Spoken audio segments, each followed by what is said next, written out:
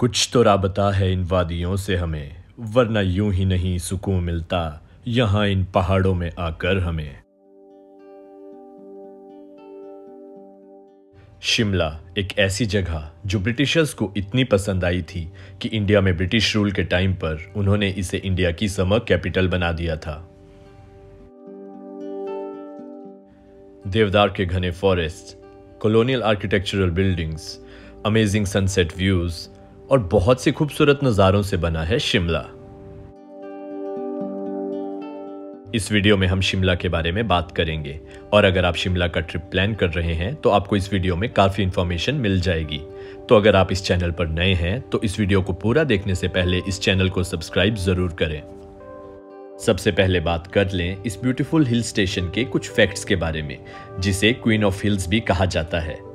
जब भी आप शिमला आएँगे तो आप देखेंगे कि शिमला की ब्यूटी अपने टाइटल क्वीन ऑफ़ हिल्स को टोटली जस्टिफाई भी करती है।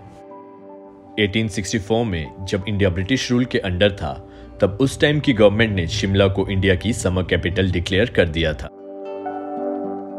इंडिपेंडेंस के बाद शिमला को कैपिटल बना दिया गया था उस टाइम की पंजाब स्टेट का। और उसके बाद शिमला कैपिटल बनी beautiful hill state Himachal Pradesh की। भी आप शिमला विज़िट करेंगे तो आपको यहाँ पर ब्रिटिश आर्किटेक्चर की बहुत सारी बिल्डिंग्स देखने को मिल जाएँगी, जिसे हिमाचल प्रदेश गवर्नमेंट ने बहुत अच्छे से रिस्टोर और प्रिजर्व करके रखा है। अब बात कर लेते हैं कि आप शिमला कैसे पहुँच सकते हैं। तो शिमला पहुँचने का बेस्ट वे है कालका शिमला टॉय ट्रेन में बैठकर आना। अलका शिमला रेलवे लाइन की जर्नी एक बहुत ही ब्यूटीफुल जर्नी है और 2008 में यूनेस्को ने कालका शिमला रेलवे लाइन को वर्ल्ड हेरिटेज साइट डिक्लेयर कर दिया था।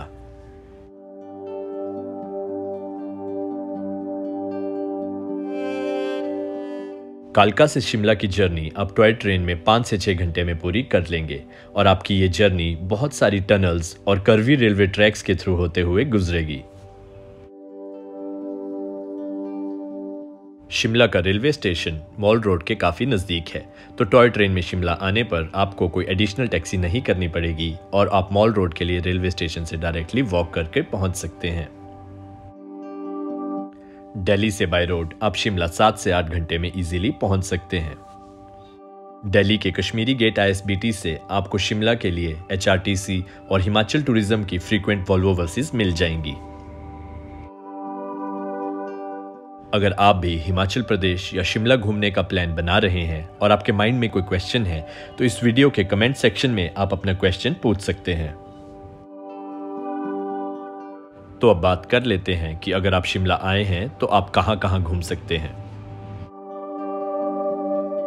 सबसे पहली लोकेशन जो आप विज़िट कर सकते हैं, वो है द रिज और the mall road Shimla. Shimla का मॉल रोड और रिज शिमला का सिटी सेंटर है।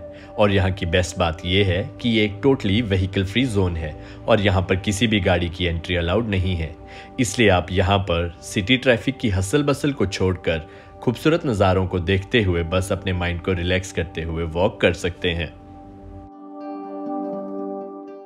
मॉल रोड और रिज के आसपास आपको एंशियंट ब्रिटिश आर्किटेक्चर की बहुत सारी बिल्डिंग्स देखने को मिल जाएँगी, जिन्हें बहुत ही अच्छे वे में रिस्टोर और प्रिजर्व करके रखा गया है। रिज पर ही आपको क्राइस्ट चर्च भी देखने को मिलेगा, जो कि नॉर्थ इंडिया का सेकेंड ओल्डेस्ट चर्च है।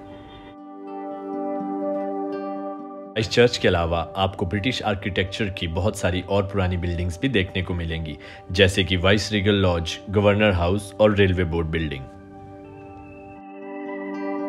यह शिमला का स्कैंडल पॉइंट है और इसकी हिस्ट्री से रेलेवेंस कुछ इस टाइप से है। महाराजा ऑफ़ पटियाला को ब्रिटिश वाइस रॉय की बेटी से प्यार हो गया था और इसी जगह से 1892 में वो उन्हें ले गए थे। इसीलिए इसे स्कैंडल पॉइंट भी कहा जाता है। हिमाचल प्रदेश की वेरियस लोकेशंस का रेगुलर अपडेट अगर आप चाहते हैं तो आप हमें इंस्टाग्राम पे फॉलो कर सकते हैं, जिसका लिंक इस वीडियो के डिस्क्रिप्शन बॉक्स में होगा। मॉल रोड के अलावा, आप मॉल रोड के साथ ही लक्कड़ बाज़ार और लोअर बाज़ार में शॉपिंग भी कर सकते हैं।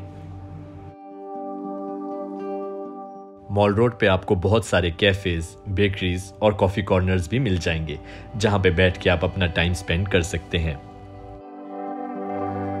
मॉल रोड पे आपको बहुत सारी ancient heritage shops book shops और सोवेनियर शॉप्स मिल जाएँगी, जो ब्रिटिश टाइम से आज तक चली आ रही हैं।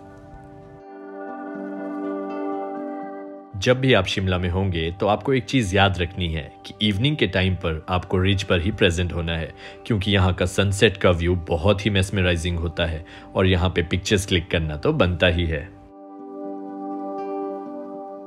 सब विज़िट करने के बाद आप निकल सकते हैं जाखू टेंपल की तरफ़। जाखू टेंपल पहुँचने के लिए आप मॉल रोड से ही ट्रैक कर सकते हैं और 45 मिनट्स का एक फिटनेस चैलेंज भी ले सकते हैं, या फिर आप कार ही ड्राइव करके जाखू टेंपल भी पहुँच सकते हैं। मॉल रोड से जाखू पहुँचने का एक और वे है जाखू रोपवे के थ्रू आना। जाखू रोपवे की कॉस्ट वन साइड के लिए टू फिफ्टी रुपीज़ है और दोनों साइड्स के लिए फोर सेवेंटी रुपीज़ है। जाखू टेंपल जाखू पीक पर लोकेटेड है। और जाखू पीक, मेन शिमला का हाईएस्ट पीक भी है और ये 8050 फीट की एलिवेशन पर है। जाखू में भगवान श्री हनुमान जी की 108 फीट ऊँची मूर्ति भी है और ये एक सच में बहुत ही अद्भुत नज़ारा है। रामायण के अनुसार जाखू टेंपल की यह मान्यता है कि जब युद्ध चल रहा था और लक्ष्मण जी घायल हो गए थे, तब हनुमान जी जब संजीवनी बूटी ढूँढने के लिए हिमालय की ओर निकले थे तो उन्होंने जाखू टेंपल पर कुछ देर विश्राम किया था।